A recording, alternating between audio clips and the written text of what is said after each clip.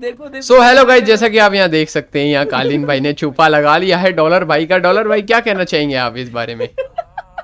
थोड़ा बाजू जाके बोलो बाजू बाजू। तो। गाइस आप जैसा कि देख सकते हैं। बाजू बाजू हाँ।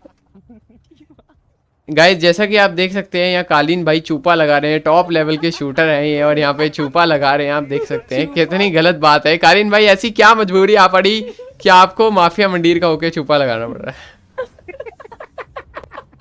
हो गया मुँह में सो गाइज़ अगर आपको ब्लॉग पसंद आया हो तो ऐसे ही लाइक शेयर सब्सक्राइब करते रहिए। दिस इज़ योर बॉय कजामटरू हैंगिंग आउट छोटा भाई बड़ा भाई का ले रहा है।